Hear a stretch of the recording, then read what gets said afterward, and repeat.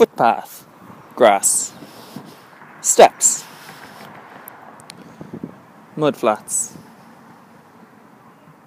So, my computer is broken. It's just a monitor, so it's not the end of the world, but it is a bit annoying.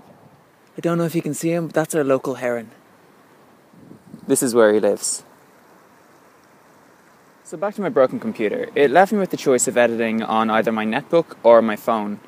I got iMovie for my iPhone, and to be honest, it's a lot better than editing on my netbook, and it means I can still edit it in HD, which I can't really do on the netbook. It's just a bit too slow. I'm going to try and set up my PC with my TV or something like that as a short-term, you know, solution, and then order a monitor from Amazon or something. if It's not too expensive, and hopefully I'll be back up and running properly by I don't know next Monday. I hope monitors aren't too expensive.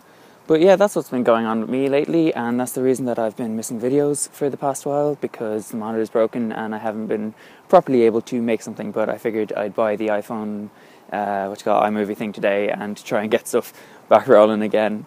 But hopefully, I'll be back set up with my normal setup on Monday. And uh, in case you're wondering where I'm filming, it is the lovely St Anne's Park in Dublin, and the reason I'm here is because my phone is a lot more portable than my regular camera, so I decided I may as well bring it out and do a bit of outdoor stuff and see what the quality on the phone is actually like. And yeah, uh, I will talk to you guys on Monday, hopefully, and I hope you all have a fantastic weekend. All right, see you.